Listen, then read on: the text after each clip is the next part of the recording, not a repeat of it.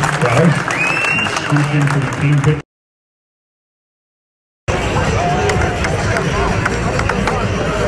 ah!